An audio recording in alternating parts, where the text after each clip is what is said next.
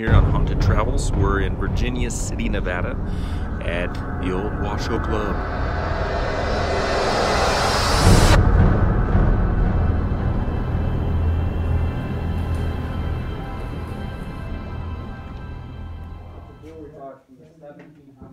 Wow. And this is the only picture we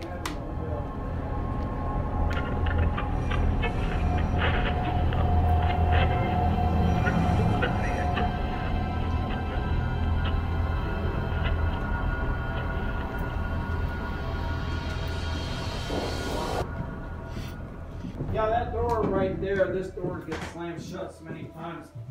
I was actually doing a tour. Uh, my buddy, his name is Kevin, he does tours, and during the day, this door slammed shut in front of everybody, and they all thought it was a joke. And he tried to tell them it wasn't a joke. Well, I didn't really believe Kevin. And he tried to tell them it wasn't a joke. Well, I didn't really believe Kevin. I did not until it happened to me. I was doing a tour of 10 people. We all got to the staircase, and all of a sudden that door slammed shut. It was so loud, it sounded like a shotgun going off.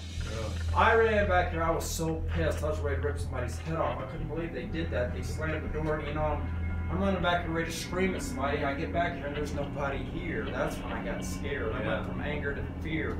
He, he told me some wonderful stuff that happened to him too. He said it scared the piss out of him. He said uh, the, the most uh, the, the most scaredest he ever been was he was sleeping in this room and it was like three in the morning and he said he'll never forget it. He kept hearing something, somebody running up and down the staircase.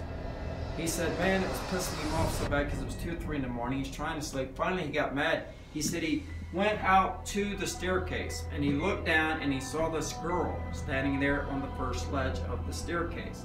And he's yelling at her. He's telling her, girl, you're going to have to quit running up and down these stairs. You know, you keep me awake. And he said he's staring right at her and he noticed she looked kind of like she wasn't dressed in this era. That's when it started hitting him.